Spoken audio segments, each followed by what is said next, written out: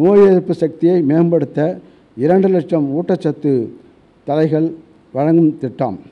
பொது மக்களின் ஆரோக்கியத்தின் மீது அக்கறை கொண்ட இவ்வரசு மக்களின் நோய் எதிர்ப்பு சக்தியை அதிகரிக்கவும் ஊட்டச்சத்தை மேம்படுத்தவும் பார்வைக்கு பப்பாளி நோய் எதிர்ப்பு சக்திக்கு எலுமிச்சை இரும்பு சத்துக்கு முருங்கையும் கருவேப்பிலையும் கற்பூரவள்ளி திப்பிலி கற்றாழை புதினா போன்ற மருத்துவ குணம் கொண்ட மூலிகை செடிகள் அடங்கிய தலைகள் ரெண்டு லட்சம் குடும்பங்களுக்கு வழங்கப்படும்.